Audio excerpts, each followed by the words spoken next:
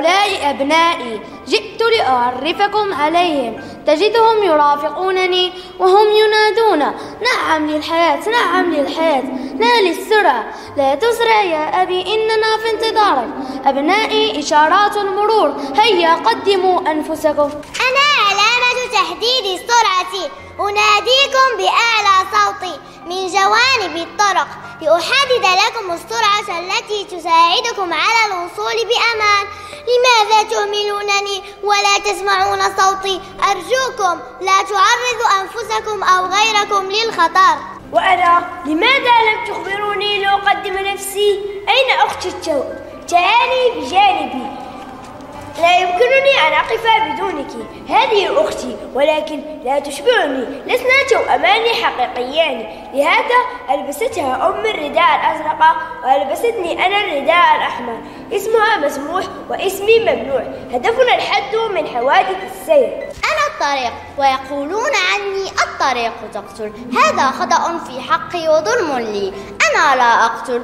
أنا لا أقتل أحدا فكل من لا يحترم أبنائي يعرض نفسه لمخاطري فاحترموا أبنائي أحترمكم وأنجيكم من مخاطري. أنا إشارة قف طلبي مكتوب على خدي. تجدونني في ملتقى الطرق. العديد منكم لا يحترمني. ألست جديرة بالاحترام؟ احترموني. احترموني. تحترمكم الحياة.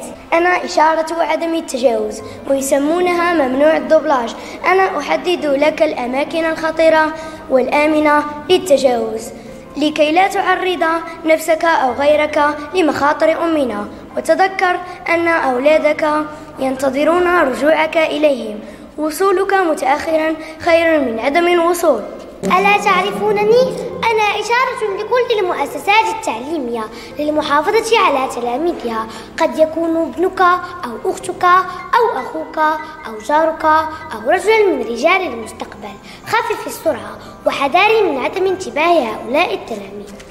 أنا إشارة متفائلة من بين إخوتي لأنني أمنع ما منعت أختي من تحديد سرعة ولكن دائما بحذر وانتباه. أنا المدار الإجباري تجدونني في ملتقى الطرق أنظم السير. اتبع اتجاهي. واحذر يمينك. كفاكم قتلى كفاكم جرحى كفاكم معاقين كفاكم تهورا نعم للحياة. كفاكم خبلا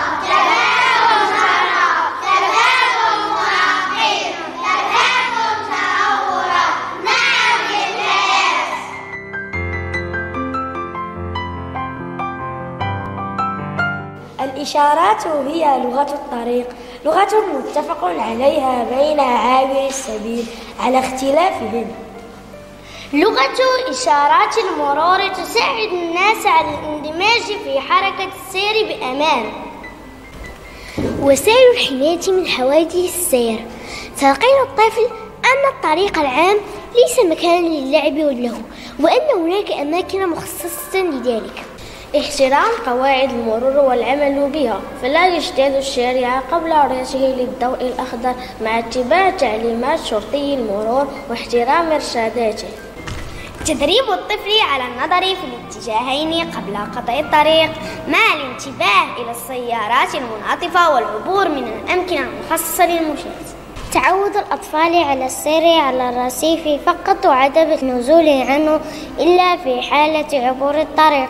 عدم السماح للأطفال بالنزول إلى الشارع بمفردهم دون مراقبة لأي سبب.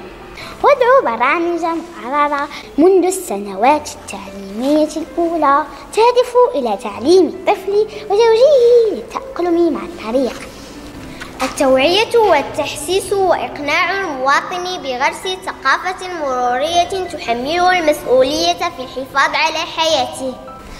العمل على تغيير السلوكيات السلبية للأفراد.